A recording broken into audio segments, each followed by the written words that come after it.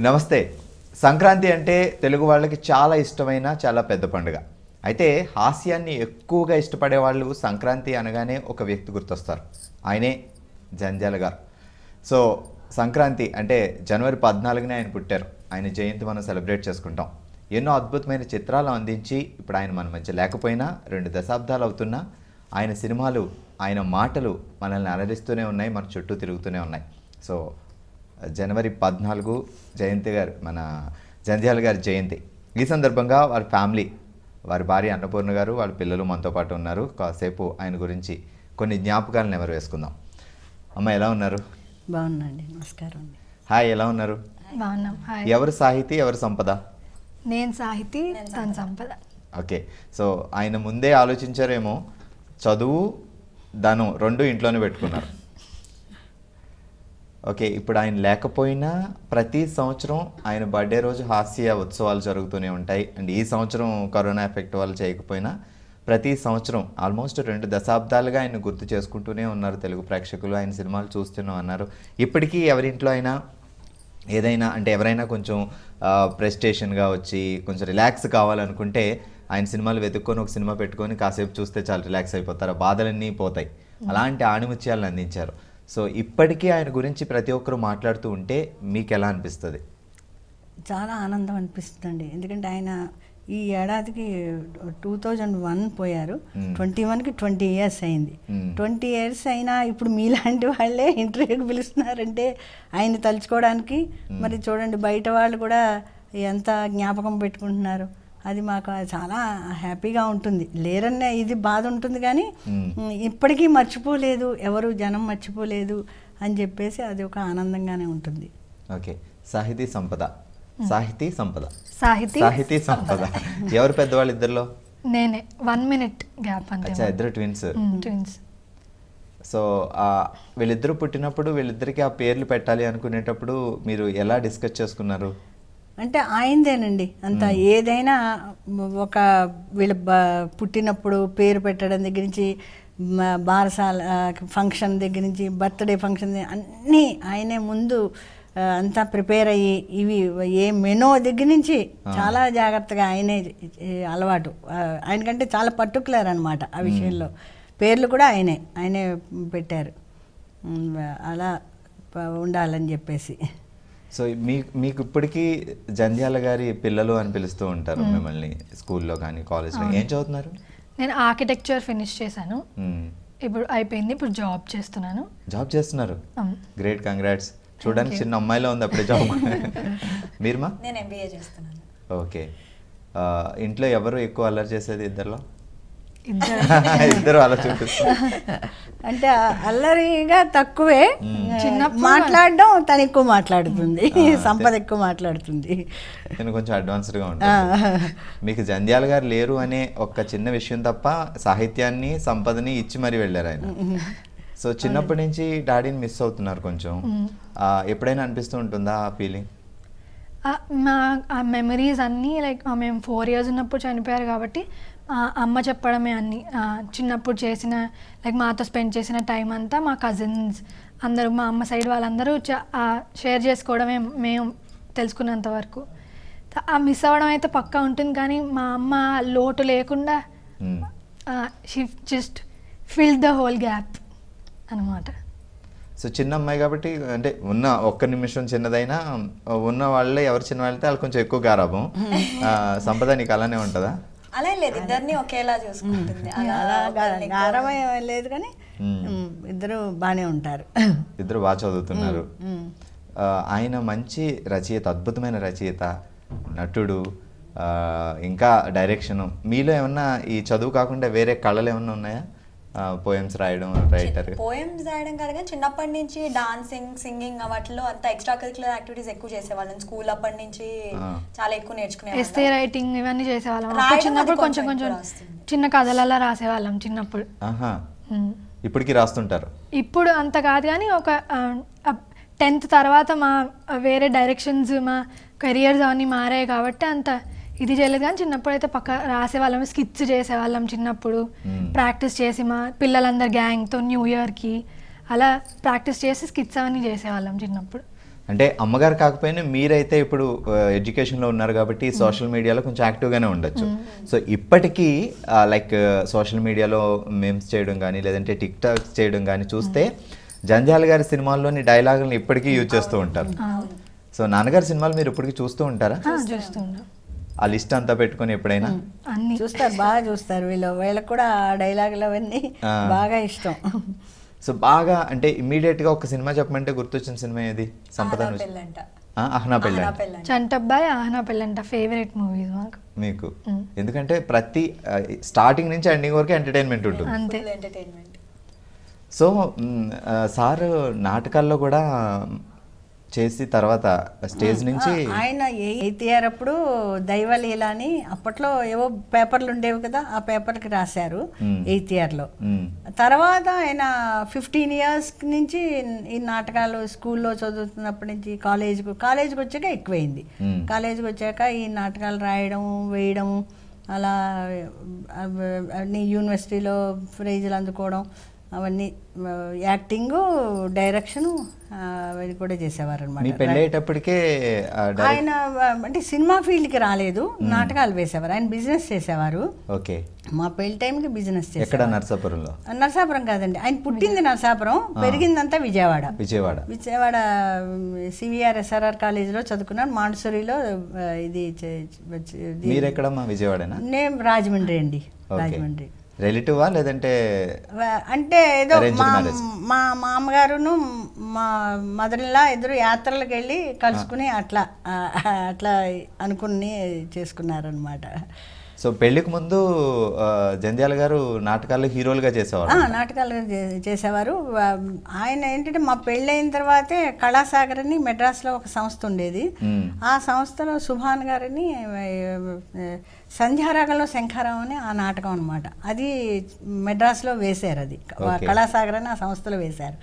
అక్కడికి గుమ్మడి గారు మన పుల్లయ్య గారు శాంతకుమార్ గారు మన విశ్వనాథ్ గారు వీళ్ళందరూ ఆ నాటకం చూడడానికి వచ్చారు. వచ్చి ఇంత బాగా చేశారు మీరు మీరు ఎందుకు చెన్నై మెడ్రాస్ వచ్చేయకూడదు అని అంటే అప్పుడు ఆయన ఒక్కరు వెళ్ళారు సెవెంటీ ఫోర్లో మ్మ్. మిమ్మల్ని తీసుకువెళ్ళలేదు? వెళ్ళలేదు నేను వెళ్ళి ఫస్ట్ ఆయన వెళ్ళారు చూసుకోవడానికి అప్పుడు ఎంవి రఘు అని కెమెరా ఫోటోగ్రఫీ అతను ఎంవి రఘు. అని అతను రూమ్లో ఉండి వెళ్ళి కొన్నాళ్ళు ఉండి చూసొస్తానని వెళ్ళారు తర్వాత ఆది ఆదిరాజ్ ఆనంద్ మోహన్ గారని ఆయన దగ్గర మళ్ళీ హనుమాన్ ప్రసాద్ గారని దేవుడు చేసిన బొమ్మలు. మ్మ్. అది ముందు రిలీజ్ అవ్వలేదు కానీ సిరిసిరము ముందు రిలీజ్ అయింది. ఆయన మాటలు ఈ సినిమాకి స్క్రిప్ట్ రెడీ చేసుకుంటూ ఉంటే మేము సెవెంటీ ఫైవ్లో మేము వెళ్ళాం. షిఫ్ట్ అయిపోయారు. ఆ, మేము షిఫ్ట్ అయ్యాం. షిఫ్ట్ అయ్యాక తర్వాత విశ్వనాథ్ గారు కే. విశ్వనాథ్ గారు ఇంటి ఎదురుకుండా చందమామ రామారావు గారు ఆయన చందమామలో మేనేజర్ చేసేవారు. వాళ్ళ ఇంట్లో మేము అద్దెకి దిగాం అనమాట రెంట్గా ఉన్నాము. అది విశ్వనాథ్ గారు ఇంటి ఎదురుకుండా.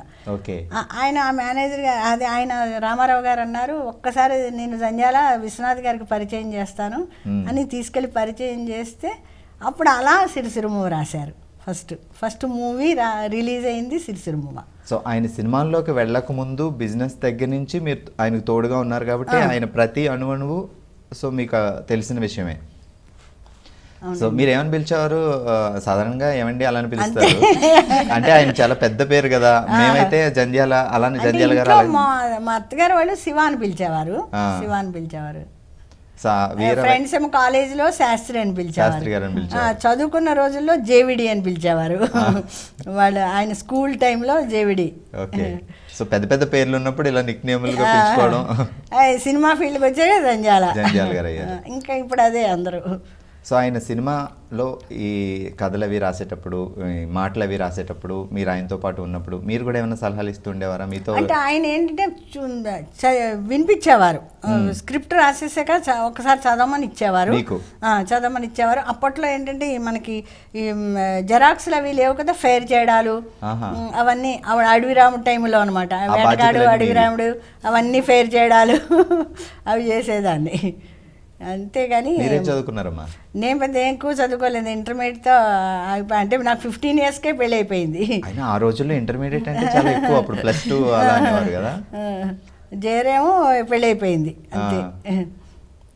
అంటే మీరు కూడా ఏమైనా సలహాలు ఇచ్చేవారా? అంటే సలహాలుగా లేదు. ఊరికే అడిగేవారు ఇది బాగుందా అనేవారు. ఏదైనా కొంచెం బాగుండకపోతే ఇలా కొ- ఏదైనా కొంచెం అంత లోతుకి మనకి తెలియదు కానీ ఊరికే అడిగేవారు అడగడం. మా మదర్ మా నన్ను కూడా ఇద్దరిని కూడా అడిగేవారు. మీ అత్తగారు కూడా మా అత్తగారు మామగారు ఇద్దరు ఉండేవారు. ఆవిడ కూడా బాగా చెప్పేవారు అండి ఆవిడ కూడా సినిమాలు చూసి ఇది బాగుందిరా ఇది బాగోలేదురా అంటూ చెప్పేవారు. అందుకని ఇద్దరిని అడిగేవారు చూడండి అని. ఒకసారి చూసి చదివి చెప్పండి అనేవారు. సో అంటే టూ థౌజండ్ వన్లో ఆయన చనిపోయిన తర్వాత కూడా ఎవ్రీ ఇయర్ జంధ్యాల గారి హాస్య ఉత్సవాలు అవి జరిగాయి సో మీరిద్దరు ఎప్పుడైనా వెళ్ళారా ఆ ఉత్సవాలకు. లాస్ట్ ఇయర్ వరకు వచ్చారు వీళ్ళు. ఈ ఇయరే ఈ కరోనాతో చాలా ఇక్కడ ప్రదీప్ చేసేవాడు. ఫస్ట్ ఏవిఎస్ గారు ప్రదీప్ కలిపి చేసేవారు. తర్వాత ఏవిఎస్ గారు పోయాక ప్రదీప్ చేశాడు. విజయవాడలో కళామంజరి అభిరుచి అని వాళ్ళు వాళ్ళు ప్రతి సంక్రాంతికి విజయవాడలో ఒక ఫంక్షన్ హైదరాబాద్లో ఒక వాళ్ళు అయితేనండి కళామంజరి వాళ్ళు పోయినప్పుడు కూడా చేస్తున్నారు. జూన్ నైన్టీన్త్ అప్పుడైతే వాళ్ళు ఒక థౌజండ్ పీపుల్కి అన్నదానం చేస్తారు ఎవ్రీ ఇయర్. ఎవ్రీ లాస్ట్ ఇయరే వాళ్ళు ఏం చేశారంటే ఈ కరోనా మూలాన వాళ్ళు ఏం చేశారు ఇంకా మమ్మల్ని రావద్దన్నారు మీరు రావద్దులండి మేమే ఏవో చేసేస్తాము అని చెప్పి ఆయన స్టాచ్యూ దగ్గరికి వెళ్ళి దండలు వేసి వాళ్ళే ఏదో పూర్ పీపుల్కి ప్యాకెట్స్ లాగా ఇచ్చేశారు. అయితే ఎవ్రీ ఇయర్ ఒక థౌజండ్ పీపుల్కి చేస్తారు అన్నదానం ఈ లేని వాళ్ళకి ఏవో లేడీస్కి కుట్టు మిషన్లని అట్లా ఇస్తున్నారు. అసలు నిజంగా అది మాది ఇంత పిసర్ లేదు. వాళ్ళే పాప అన్నీ వాళ్ళే చేసుకుని ఆయన మీద ఉండే అభిమానంతో. అభిమానం. అందులో ఇప్పుడు అతను పివిఎల్ నరసింహన్ అండి కళామంజరి అతనిది ఏమీ మనకు దాంట్లో వేషాలు వేయలేదు ఏమీ లేదు. కానీ అభిమానమే. రంజాల గారి మీద ఉండే అభిమానంతో అతను చేస్తున్నాడు అనమాట ఎవ్రీ ఇయర్ అలాగే ఎంసి దాస్ గారు కృష్ణాజీ గారిని శోభనాద్రి గారిని వీళ్ళు కూడా ప్రతి సంక్రాంతికి విజయవాడలో అక్కడ వాళ్ళు చేస్తున్నారు. అభిరుచి సంస్థ తరఫున ఇక్కడేమో మన ప్రదీప్ చేస్తున్నాడు. సో వీళ్ళిద్దరూ పుట్టేటప్పటికి హైదరాబాద్ షిఫ్ట్ అయిపోయారా? మేము పుట్టుకున్నానేనండి నైన్టీ సిక్స్లోనే వచ్చేసాం కదా. ఆల్మోస్ట్ నైన్టీ ఫైవే నైన్టీ ఫైవే వచ్చేసాం. వీళ్ళు నైన్టీ సెవెన్ పుట్టారు. ఓకే. ఇందాకే చెప్పాను నేను డాన్స్లు ఇవన్నీ బాగానే చేస్తాను అని. యాక్చువల్ గోల్ ఏంటి? చదువుకొని జాబ్ చేయడమా? లేదంటే ఇటువైపు ఏమన్నా ఉందా డాడీ ఫీల్డ్లో ప్రస్తుతానికి అయితే చదువు ఇంకా నడుస్తోంది. దాని తర్వాత అంటే డాన్సింగ్ అంటే చిన్నప్పటి నుంచి క్లాసికల్ కూచిపూడి నేర్చుకున్నాము. ఇంకా కాలేజ్ టైం స్కూల్ టైమ్స్లో కాలేజ్కి వచ్చాక కూడా కల్చరల్ యాక్టివిటీస్ వాటిల్లో పార్టిసిపేట్ చేసి అలా డాన్సులు చేయడం పాటలు పాడడం అలా కొంచెం అటువైపు కొంచెం ఇంట్రెస్ట్ ఉంది.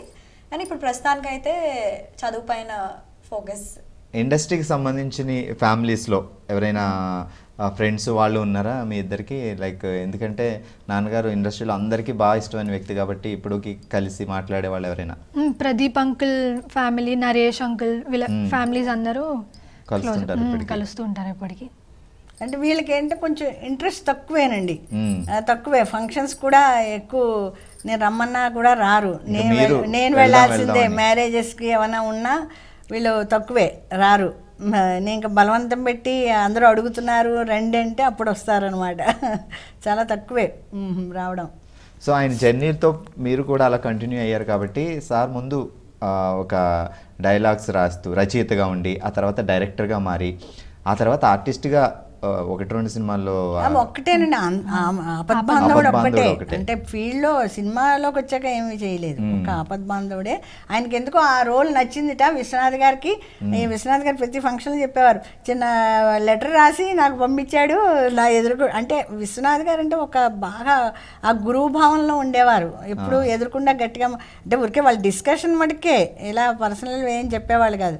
ఆయనకి వేయాలనుంది. అందుకని ఆయన కొంచెం ఒక లెటర్ లాగా ఇచ్చి పంపించారట ఎవరినో. జంధ్యాల గారే పంపించారు. పంపించి ఆయనే స్క్రిప్ట్ రాసిందే ఆయన డైలాగ్ అదిను. కానీ ఆయన పంపించారట ఈ వేషం నాకు వేయాలనుంది అని. అప్పుడు అన్నట్టు ఎదురుకుండా వచ్చి చెప్పచ్చు కదా నువ్వు లెటర్ రాసి పంపించడం ఎందుకు మరి? ఆయన ఎప్పుడు చెప్పేవారు విశ్వనాథ్ గారు. అవాళ లెటర్ రాసి పంపించాడు జంజాల నాకు ఆ వేషం నాకు వేయాలనుంది అని అని అలా వేశారనమాట అపద్బాంధవుల్లో అంటే జంధ్యాల గారు మొదటి సినిమాలు ఆనంద్ భైరవి కానీ ఇలాంటి కొంచెం మరి కామెడీ మూవీస్ కాదు. ఆ తర్వాత మొత్తం కామెడీ మూవీస్కి షిఫ్ట్ అయ్యారు. అంటే ఆయన చేసిన కామెడీ సినిమాలు హిట్ అవ్వడం వల్ల అవే కంటిన్యూ చేస్తారా? లేదంటే అంటే ఆయనకి అసలు ఎక్కువ కామెడీ ఇష్టం అండి. ఆయనకి అసలు నాటకాలు నాటికలు రాసినవన్నీ ఎక్కువ కామెడీవే. కామెడీ బేస్తోనే ఉండేవి. ఆయనకి ఎక్కువ అది ఇష్టం అనమాట ఎక్కువ కామెడీ ఇష్టం. అంటే ఆ సీరియస్ కూడా బాగా రాయగలిగేవారు. అది ఇప్పుడు స్క్రిప్ట్ నాలుగు వందల సినిమాలు డైలాగులు రాశారు. వాటిల్లో మరి అన్ని సెంటిమెంట్లు ఉండేవి కామెడీ ఉండేవి అన్నీ ఉండేవి.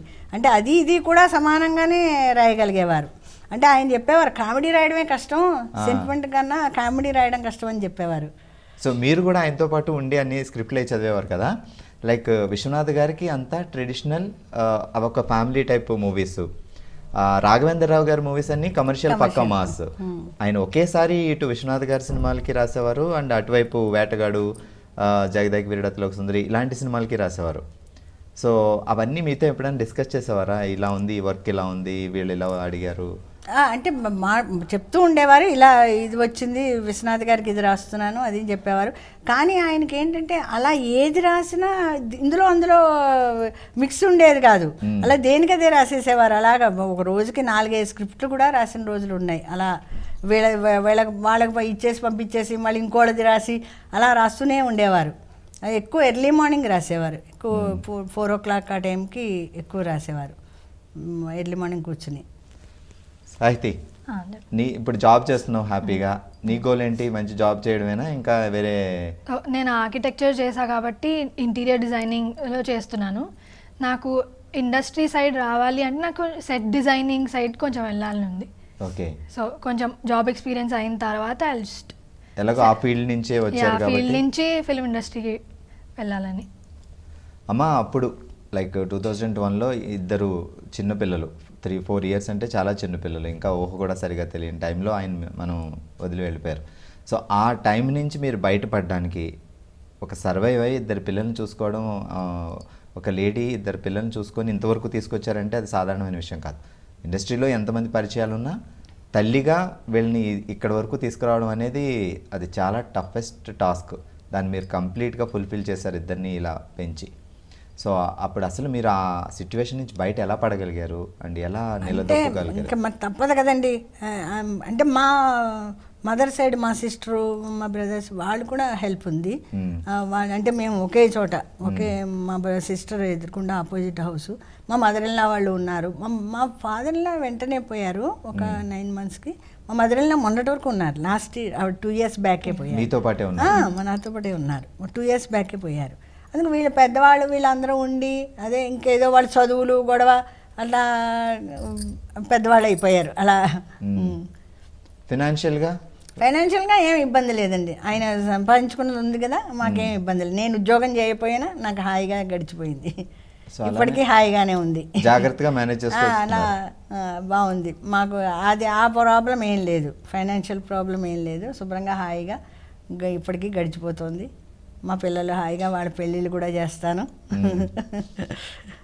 నాకంటే మా వాళ్ళ సిస్టర్ వాళ్ళ అండ మా బ్రదర్స్ అండ మా బ్రదర్స్ పిల్లలు వాళ్ళ అండ అండంతా ఉంది కాబట్టి ఇబ్బంది ఏమీ లేదు. మా అంటే ఏదో అంటారు కదా అంగబలం ఎప్పుడు ఉండాలంటారు కదా అట్లాగా నాకు అది బాగా ఉంది. సో ఆయన ఎలా ఉండేవారు అంటే సినిమా ఫీల్డ్ అంటే చాలా బిజీగా ఉంటుంది. అండ్ ఎన్ని వర్కులు చేసేవారు? ఇటు స్క్రిప్ట్లు అందించడం ఇవన్నీ చేస్తూ ఉండేటప్పుడు మీతో ఎక్కువగా టైం గడపడం కానీ ఇంట్లో ఎక్కువగా ఉండడం కానీ బయట ఎక్కువ ఉంటుంది. మీడియా అంటే సినిమా అంటే ఎక్కువగా తిరగడాలు అవి ఉంటాయి. సో అప్పుడు ఎలా ఉండేది? ఇంటికి వచ్చినప్పుడు చాలా బిజీగానే ఉండేవారు. చాలా తక్కువ. ఇప్పుడు ఊళ్ళో ఉండి రాయడమైనా ఒక్కోసారి హోటల్లో పెట్టేవారు వాళ్ళు. అంటే వాళ్ళకి స్క్రిప్ట్ టైంకి ఇవ్వరని. ఇప్పుడు ఇంట్లో ఉంటే వేరే వాళ్ళ స్క్రిప్ట్ కూడా ఇప్పుడు వాళ్ళ ఆ కంపెనీ వాళ్ళదే అనుకోండి. వాళ్ళదే రాస్తారని ఒక ఇది ఉంటుంది కదా వాళ్ళ కోసం హోటల్ బుక్ చేస్తే. అందుకని వాళ్ళు ప్రత్యేకం ఏ కంపెనీ వాళ్ళు ఆ కంపెనీ హోటల్ పెట్టేసేవారు. మీరు అక్కడ కూర్చునే రాయాలి అని. అదే. అక్కడ అలా దాంతో చాలా బిజీగానే ఉండేవారు. ఇంచుమించు. మీరు వెళ్ళేవారా షూటింగ్లకి అదే ఆయనతో పాటు? అంటే ఆయన డైరెక్షన్ మొదలెట్టాక షూటింగ్లప్పుడు వెళ్ళేదాన్ని. ఓకే.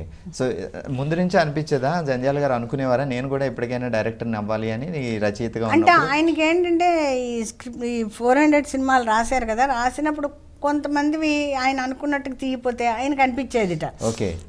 ఇప్పుడు నేనే చేస్తే నేను బాగా తీసుకుంటాను కదా అన్నట్టుగా అనిపించి అప్పుడు ఇంచుమించు ఆయన ఫోర్ హండ్రెడ్ పిక్చర్స్ ఆయన డైరెక్షన్లోకి రాకుండానే తీసే రాసేశారు Hmm. ఆ తర్వాత రాసినవి ఎవరో కొద్ది మందివే రాశారు కొద్దిమంది.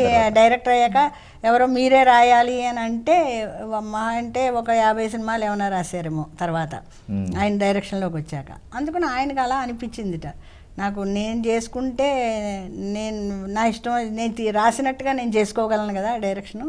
అని చెప్పేసి అలా అనుకోకుండా అలా దిగారనమాట అసలు ముందు అన్నాం మీరు ఇంత మంచి అంటే మంచి ఇదిలో ఉండేవాళ్ళు కదా అప్పుడు బోల్డ్ సినిమాలు రాస్తూ మీరు మళ్ళీ సడన్గా ఈ డైరెక్షన్ ఎందుకంటే ఆయనకి అంటే చేయాలని ఉంది Hmm. అలా అందులో కొత్త వాళ్ళతో చేసి Success అయ్యారు. ముద్దమందారం అలా మొదలు పెట్టారనమాట అలా ప్రదీప్ కూడా వాళ్ళ ఫ్రెండ్సే మాకు వాళ్ళు. వాళ్ళ మదర్ వాళ్ళు బాగా తెలిసిన వాళ్ళే. వాళ్ళ మామయ్య గారు వాళ్ళ తాతగారు వీళ్ళు కలిపి నాటకాలు వేసేవారు. ప్రదీప్ తాతగారు రామ వెన్నకోట రామన్ పంత్ గారిని ఆయన జంజాల గారు వీళ్ళు నాటకాలు వేసేవారు విజయవాడలో.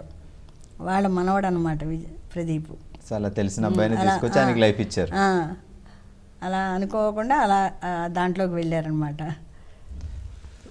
కాలేజ్లో కానీ స్కూల్లో కానీ చిన్నప్పటి నుంచి చదువుకునేటప్పుడు అందరూ అడిగేవారా? మీ నాన్నగారు మంచి డైరెక్టర్ బోర్డు తెలుగు వాళ్ళందరికీ తెలుసు. మా కాలేజ్ స్కూల్ దగ్గర నుంచి టీచర్స్ తెలుగు టీచర్స్ అందరికీ కూర్చోబెట్టి మాట్లాడేవారు మాతో స్పెషల్ ఉండేదా?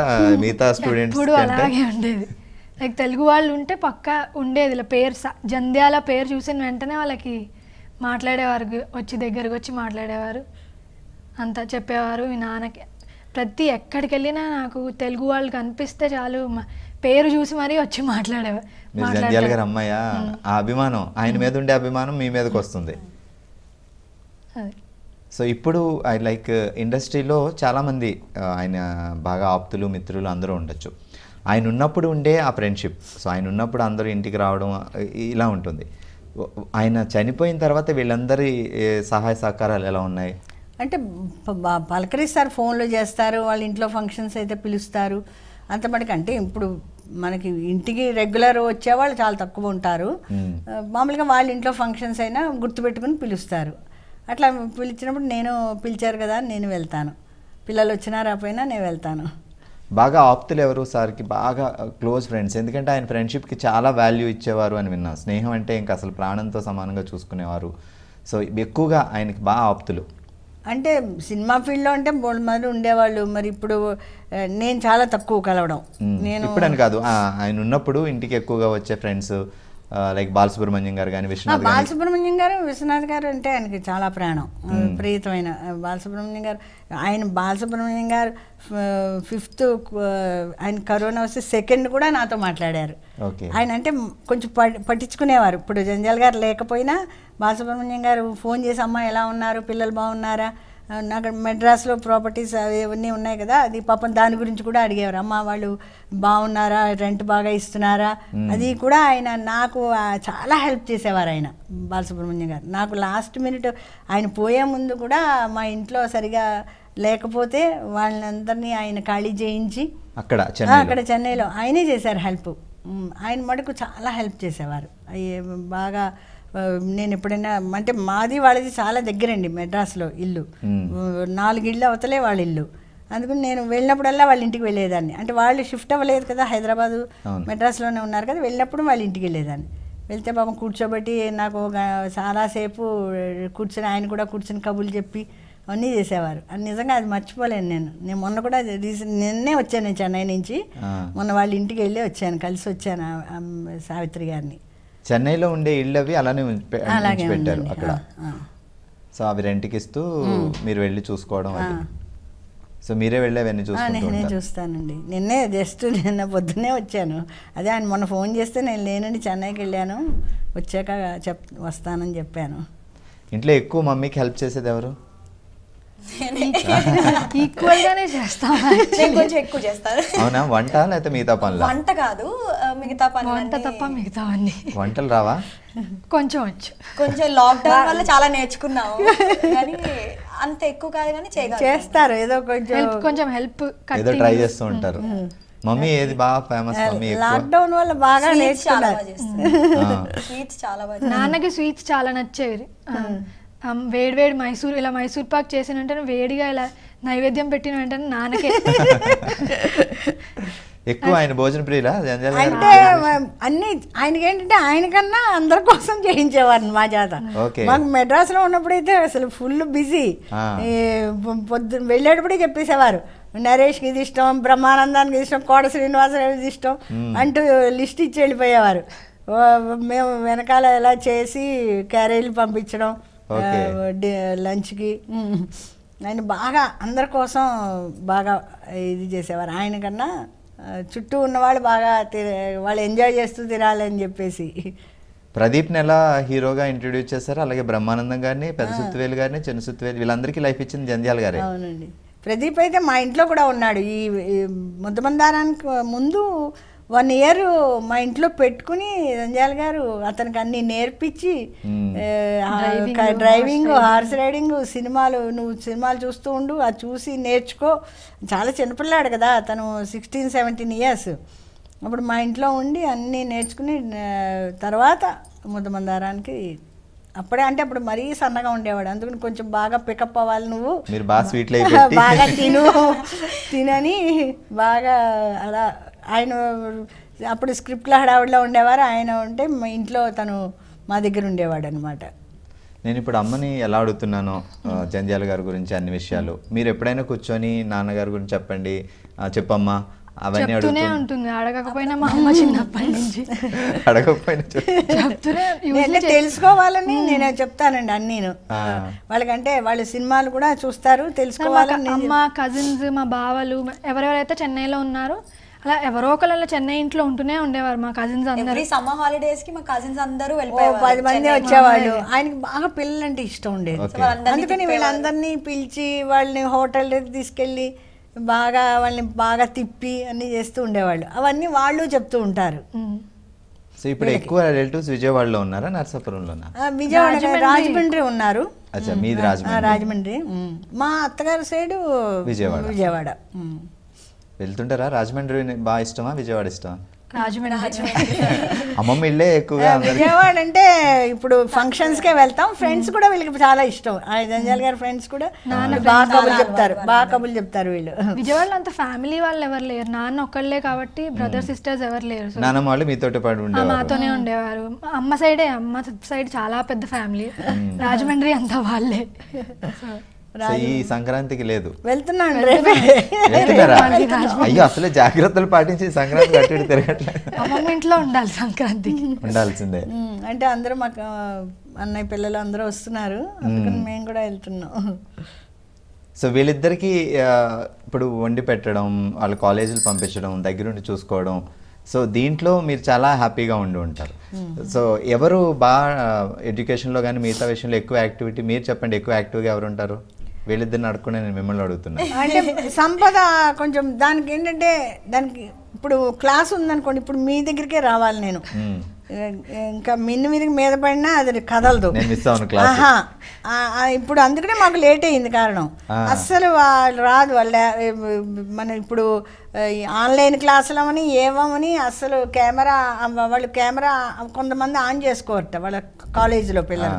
కానీ ఇది అలాగా చాలా పర్టికులర్గా డ్రెస్ వేసేసుకుని అలా కూర్చుంటుంది అనమాట కానీ తను చూడగానే కొంచెం తన అల్లరి అమ్మాయేమో క్లాస్లో ఎగ్గొట్టే అమ్మాయేమో సాహితీ ఒకరితే బుద్ధిగా చదువు నేను అల్లరి ఉంది కానీ ఎగ్గొట్టదు. చాలా సిన్సియర్గా అసలు అందులో అయితే మా ఫ్లాట్లో వాళ్ళు అందరూ అంటారు. ఈ బాబు ఈ సంపదలాగా ఎవరు ఉండరు అని. ఐఏఎస్ ఐఎఫ్ఎస్ అయితే ఇక్కడ. కాదు చూడగానే అయితే తను కొంచెం అల్లరి చేస్తుంది క్లాస్లో ఎగ్గొడుద్ది. సాహిత్య అలా కాదు బాగా చదువుకొని బుద్ధిమంతురాలు. ఆ నాకు అలా అనిపించింది ఇద్దరిని చూడగానే. అంటే సాహితీ వర్క్ చేయడు. తను చాలా సిన్సియర్గా వర్క్ చేసేది. ఆర్కిటెక్చర్ అప్పుడు చాలా వర్క్ ఉండేది. అసలు రాత్రి కూర్చుంటే తెల్లవారైపోయేది. దాని వర్క్ అయ్యేటప్పటికి నేను తిట్టేదాన్ని. ఇదేమిటి నిద్ర లేకుండా అని నేను కూడా ఎక్కువ పొద్దున లేచే చేసుకునేదాన్ని నాన్న కూడా అలా పొద్దున ఫోర్ ఓ క్లాక్ అప్పుడే యాక్టివ్గా ఇద్దరికి అలాగే అదే అలవాటు. అదే అలవాటు. చేసుకోవడం. రాత్రి చదివేది ఆ- స్పాన్ మాకు సెట్ అయ్యేది కాదు. ఒక టూ థర్టీ ఫోర్ ఆ టైంకి లేచి వర్క్ చేసుకునే వాళ్ళు. ఏమున్నా చదువుకోవాలన్నా ఏమైనా కరెక్ట్ టైం. ఎందుకంటే ఆ టైంలో చదివితే డెఫినెట్గా మైండ్కి వస్తుంది ఎక్కుతుంది అని చెప్తారు. సో ఆయన చెప్పారు అంటే ఆయన ఎంత అనుభవంతో చెప్పిన మాట కదా అది. సో ఈ ఒక ఆర్ట్ రచయితగా తర్వాత డైరెక్టర్గా మారి ఇన్ని సినిమాలు చేస్తున్నప్పుడు లైక్ కొన్ని సినిమా అంటే ప్రతిదానికి అప్లోజ్ వస్తుంటుంది. ఇప్పుడు అవార్డు అనేది ఉందనుకోండి ప్రతిదానికి వస్తుంటుంది కొన్ని మిస్ అవుతుంటుంది. సో ఆయన బాగా కష్టపడి చేసిన సినిమాలకి ఏదైనా అవార్డు రాకపోవడం లేదంటే అప్లోజ్ రాకపోవడం లేదంటే బాగా చేసిన మంచి డైరెక్ట్ చేసిన సినిమా కమర్షియల్గా సక్సెస్ కాకపోవడం ఇలాంటి అప్పుడు డిసప్పాయింట్ అయిన సందర్భాలలో ఆయన ఎలా ఉండేది? అంటే ఆయనకి నెలవంకని ఆ సినిమా చాలా ఇష్టం. అది నలభై నైట్స్ పనిచేశారండి. ఆ సినిమాకి? నైట్సే. నైట్లోనే. నైట్లోనే షూటింగ్ అనమాట అదంతా. కానీ అది కొంచెం ఆయన అప్సెట్ అయ్యారు. అది వస్తుంది అనుకున్నారు అవార్డు. National national. అవార్డే వస్తుంది అనుకున్నారు అప్పుడు రాలేదు. ఏదో ప్రింట్ మొత్తానికి వెళ్ళలేదుట. అయ్యో. ఢిల్లీకే వెళ్ళలేదు. ఏదో మిస్ప్లేస్ అయింది దాంతో ఏదో అయింది మొత్తానికి అవ్వలేదు అది కొంచెం ఉండేది ఆయనకి. అది అది ఒకటి ఉండేది. ఇంకా మిగతా ఏమీ లేవులేండి. ఆయనకి ఏంటంటే హాయిగా రిటైర్ అయిపోవాలి నేను హాయిగా కూర్చుని? పుస్తకాలు రాసుకోవాలని ఉండేది ఆయనకి. అలానే అనేవారా? అలా అనేవారు. ఇంకా అంటే హైదరాబాద్ వచ్చాక కొంచెం ఏమైనా అంత ఇంట్రెస్ట్ ఉండేది కాదు. తక్కువే. నేను హాయిగా కూర్చుని పుస్తకాలు రాసుకోవాలి. చదువుకోవడం ఆయనకి ఇష్టం ఉండేది. ఎక్కువ బుక్స్ చదవడం ఇష్టం ఉండేది. తెగ బుక్స్ కొనేవారు. మా ఇల్లంతా బుక్సే. తెగ బుక్స్. ఎక్కువగా ఈయన నవల్ని మల్లాది కృష్ణ వెంకట కృష్ణమూర్తి ఆ, గారి ఆ, నవల్ని అదే, ఎక్కువ సినిమాలు ఆ, చేశారు కదా. ఆ, అది ఎక్కువ సినిమాలు చేశారు. కానీ ఆయన ఎక్కువ అన్ని అన్ని చదివేవారు. ఆధ్యాత్మికంగా అన్ని చదివేవారు. బాగా ఇంట్రెస్ట్ ఉండేది అన్నీను. అన్నీ అంటే అలా హాయిగా రిలాక్స్గా కూర్చుని చక్కగా చదువుకోవాలి. ఇంకా రిటైర్ అయిపోయి అని అని ఉండేదన్నమాట. అంటే అప్పట్లో కొంచెం టీవీలు కూడా మొదలైంది అంతే ఎక్కువ జంజాల్ గారు పోయే టైంకి అంత టీవీ ఎక్కువ ఇది లేదు. ఇప్పుడు అంత లేదు. కూడా టీవీ కూడా చేశారు. చేశారు. చేసే ఆనందో బ్రహ్మ కాదు. మన ఈటీవీ వాళ్ళకి వాళ్ళకి చేశారు. కొన్ని చేశారు అప్పుడు. యాక్చువల్గా. ఇండస్ట్రీలో ఏంటో కానీ మంచి అద్భుతమైన చిత్రాలను అందించే డైరెక్టర్లు కానీ ఆర్టిస్టులు కానీ తొందరగా మిస్ అవుతుంటాం మనం.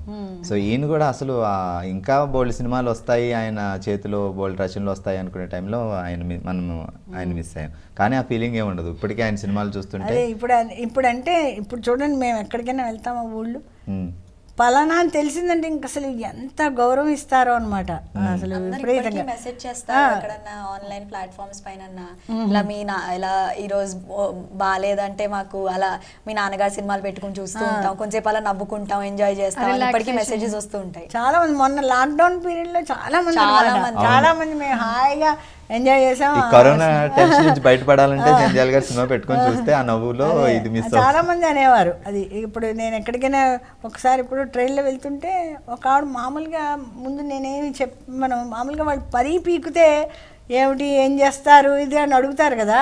అడిగితే అలా చెప్పేటప్పటికి అసలు ఆవిడ ఎగిరి గంతేసింది. వెంటనే వాళ్ళ అబ్బాయికి ఫోన్ చేసేసింది. ఫోన్ చేసేసి నా- నా- వాడి పేరు ఏదో చెప్పి అబ్బాయి పేరు. నాతో ఉన్నారు ఆవిడ? అని చెప్పేసి ఇంకా అసలు ఎంత ఆనందపడిపోయావు అవన్నీ చూస్తే మనకు అనిపిస్తుంది అసలు మనిషి లేరని అనిపించదు అనమాట ఇవన్నీ మనకి ఎవ్రీడే ఎవ్రీ ఇయర్ ఫంక్షన్లు ఇంచుమించు ఇయర్లీ టూ ఫంక్షన్స్ జరగడం అందరూ కలుసుకోవడం ఆయన గురించి మాట్లాడడం ఇలా మీ టీవీ షోస్ అవన్నీ వాటి వల్ల ఏంటంటే ఆ మనిషి లేరని మాకు అనిపించదు అసలు. మాతోనే ఉన్నారనిపిస్తుంది. అసలు మాకు లేరని అది రాదు అసలు. జంజాల్ గారు డైరెక్షన్ చేసేటప్పుడు మీరు ఎప్పుడైనా అంటే ఆయన సినిమాలు చూస్తే పెద్ద పెద్ద భారీ సెట్టింగ్లు ఉండవు ఫారెన్ లొకేషన్లు ఉండవు. సాధారణమైన ఓ ఊళ్ళో మరీ హీరో హీరోయిన్లకి పెద్ద పెద్ద కాస్ట్యూమ్స్ కూడా అక్కర్లా. సింపుల్గా మనం ఎలా ఉంటామో ఆయన క్యారెక్టర్లు కూడా అలా ఉంటాయి. ఆ సినిమా అట్మాస్ఫియర్ అలా ఉంటుంది. నాకు ఇప్పటికీ జయమని చీమర సినిమా భలే ఇష్టం. ఒక లక్ష సార్లు చూసానేమో సో ప్రతి క్యారెక్టర్కి ఒక క్యారెక్టరైజేషన్ ఉంటుంది. సో మీరు ఎప్పుడైనా అడిగారా ఎందుకంటే మీ సినిమాల్లో పెద్ద పెద్ద భారీ సెట్టింగ్లు హడావుళ్ళు ఇవన్నీ పెట్టరేంటి? అప్పుడప్పుడు అమ్- అమ్మాయిలు కొంచెం చీరలు అవి పిచ్చి ఉంటుంది కదా అనేదాన్ని. ఇప్పుడు ఈ ఓణీలేనా పరికిణీలు ఓణీలేనా ఈ అహనా పెళ్ళంట్లో అయితే రెండు మూడు డ్రెస్లే హీరో మొత్తం. సినిమాకి. అసలు ప్రొడ్యూసర్కి కస్టమర్ బర్డెన్ అనేది ఉండదు. ఈయన సినిమాల్లో. బట్ ఇప్పుడు అలాంటివి రావట్లేదు అనుకోండి ఇంకా అవే చూడాలి. అంటే ఫారెన్ లొకేషన్సే కదా సాంగ్స్ అంటేను. సో ఎప్పుడైనా బయటికి తీసుకెళ్ళేవారా మిమ్మల్ని? లైక్ ఆయన పడమటి సంజయరాగం అక్కడే వెళ్ళామండి. Two times Ananda Bhairavi hundred days అయ్యాక ఫంక్షన్స్ జరిగాయి కదా. అప్పుడు వెళ్ళాం. అప్పుడు ఇంత బాలసుబ్రహ్మణ్యం గారి ట్రూప్ మొత్తం అందరూ కలిసి twenty five states programmes okay. అప్పుడు వెళ్ళాం. తర్వాత పడమటి సంజారకం అప్పుడు ఫోర్ మంత్స్ అక్కడ అప్పుడు ఉన్నాం. అక్కడే ఉన్నారు. అన్ని అంటే కొంచెం ఇష్టమైనవి అయితే వెళ్ళాము. మరీ అస్మాడు వైజాగ్లు ఇవి అంటే అస్మాడు వెళ్తుంటే మనకి బోరే కదా. అక్కడ అయినా వాళ్ళ వీళ్ళు షూటింగ్కి వెళ్ళిపోతారు.